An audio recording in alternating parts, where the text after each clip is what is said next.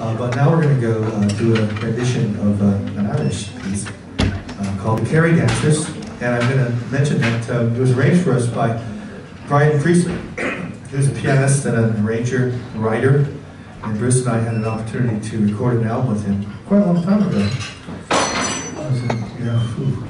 Uh, anyway, it's uh, uh, an album that features lots of Ellington music, and we'll talk about, about that in a minute. But this is Brian's arrangement, uh, and thankfully so, of a wonderful um, sort of uh, folky thing. And uh, it was recorded by Johnny Griffin, uh, the great tenor saxophonist, believe it on Riverside album in 1962 or something. So how it how they got a hold of the Kerry Dancers, I have no idea.